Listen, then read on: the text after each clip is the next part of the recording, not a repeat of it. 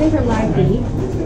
Hi. Imagine you want a hot herbal drink on a cold day. You have to go down to the store to get it, probably taste sugary, or make it from scratch by boiling it for 30 minutes.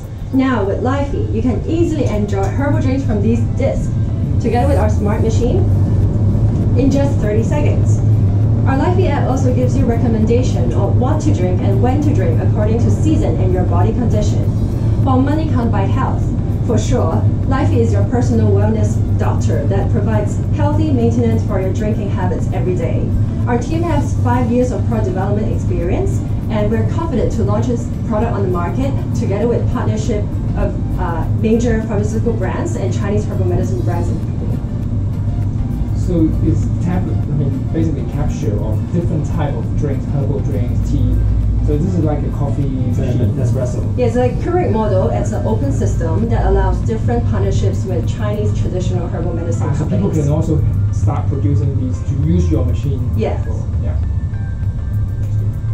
Thank you. Please get on the stage and support Lively to be healthy for life. Thanks. Thank you. Thank you. Thank you.